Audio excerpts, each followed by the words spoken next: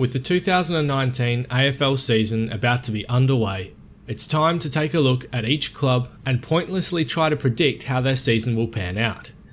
All of this is speculative, so if you think you know better than we do, be sure to let us know in the comments below.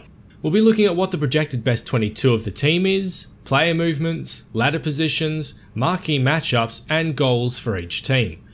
Today, we take a look at the best 5 win team of all time, the Brisbane Lions.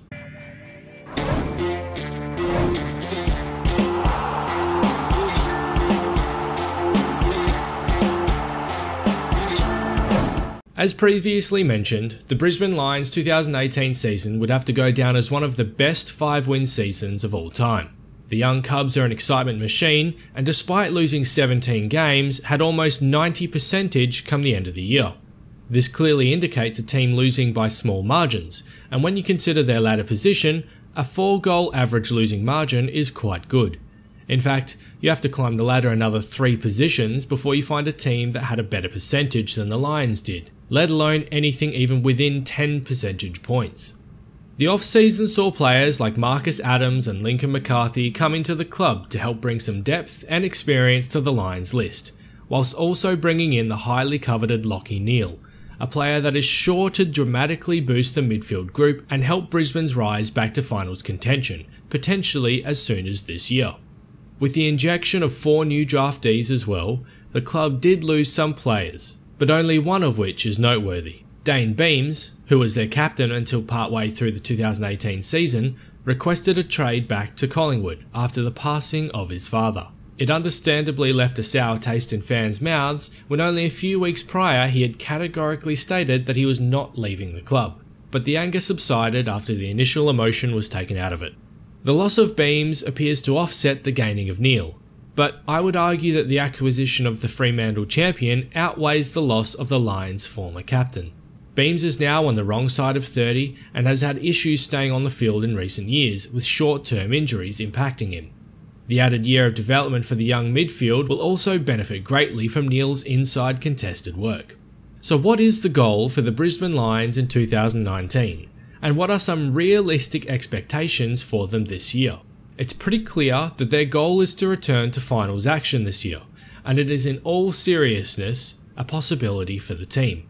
Their younger players have gained more experience and are developing nicely. At the time of writing this script, they have a fairly healthy list and come into their third year under Chris Fagan.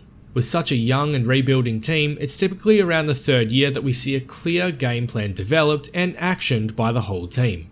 We should expect to see fewer lapses in games where they have multiple goals scored against them, and should provide closer contests. I would expect them to at least contend for the finals this year, with a smoky chance of actually getting there, but not making any impact come September. So, what changes for the Lions, and how do they go about winning more games to even contend for a finals position? Let's have a look at what we think their best 22 will be and break down each line. It should be noted that at the time of writing this script, we will not be using any confirmed long term injured players, so even if a player won't be ready for round 1, they may still make our list. The backline is a fairly solid list of names in its own right, and defensively should halt a lot of deep attacks. Gardiner and Andrews are both rising defenders who will probably be top tier in the next year or so, with Andrews already laying down an argument for being there already. Couple them with the on field leadership and direction of four times Premiership player Luke Hodge, who may let his younger understudies take more control in directing the backline, and the defence of the Lions should become rock solid. The halfback line of great ball users Daniel Rich and Alex Witherden will be bolstered by the acquisition of Marcus Adams, as the two ball users can focus on the counter attack knowing they will have cover in the form of Adams. I would expect to see both Rich and Witherden begin to utilise more attacking options when transitioning out of defence, as they can rely on the rest of the backline to cover them. It could be argued that the back half line of an AFL team is their most important line, as the majority of attacks are launched from here, while seemingly needing to also stop the opposition before entering the 50 metre arc. The combination of the defensive Adams and attacking Rich and Witherden appears to be a thing of beauty, at least on paper. The centre line perhaps is a bit shaky in my opinion, as Cutler and Cluggage are still developing. Zorko is a champion among this team, and if he can temper his attitude on the field, his direction as captain could be the turning point in turning his young wingmen into A grade players. It should be noted that the introduction of Neale into the engine room will take a lot of attention away from Zorko, and we may see him reach new heights in 2019. I think you could replace Cutler with a couple of other players, but now I feel he is their best option here. The half forward line reads as a list of potential future Premiership players. Lewis Taylor finally appears to become the player belonging to a rising star winner. Eric Hipwood gets better each year and may still be too young to dominate the competition. And Cameron Rayner had an excellent first year and looks to build his composure a bit more. If Hipwood can at the very least contest the ball and bring it to ground, then the class of both Taylor and Rayner will be on display at ground level. I think the weakest part of this line is Hipwood himself. He looks to be a star of the future based on previous years, but he needs to take the next step in his development. I don't think he will ever be a pack busting forward taking contested marks all day, but he has superb athleticism and should be able to outrun his opponents.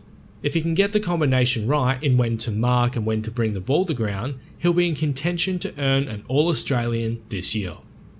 The forward line is a bit tricky to place. Charlie Cameron will see his midfield time increase this year as his class is too great to limit to the forward line, but there is no doubt his best football is played in front of the big sticks. Daniel McStay can continue his development as a forward and help take some pressure away from Hipwood.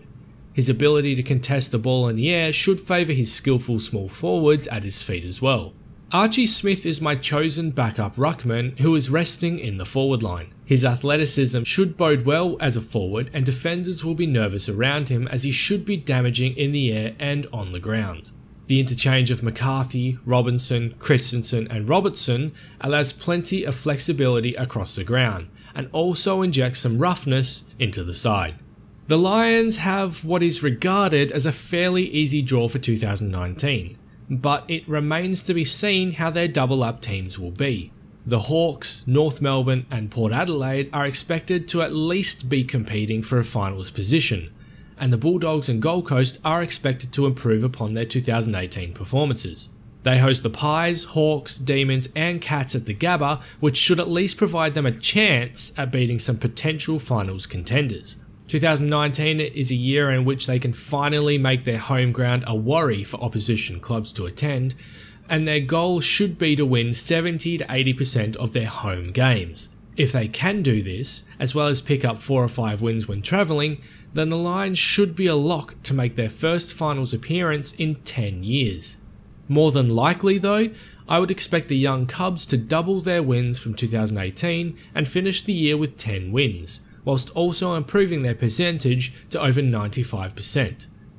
With that in mind, I expect the Brisbane Lions to finish 2019 in 11th position and really push some finals campaigners to their very best. Do you agree with this preview, or is there something you think I missed? Let us know in the comments below. If you liked the video, don't forget to leave a thumbs up, and be sure to subscribe and ring that bell to receive notifications when new content goes live. This has been your AFL Access.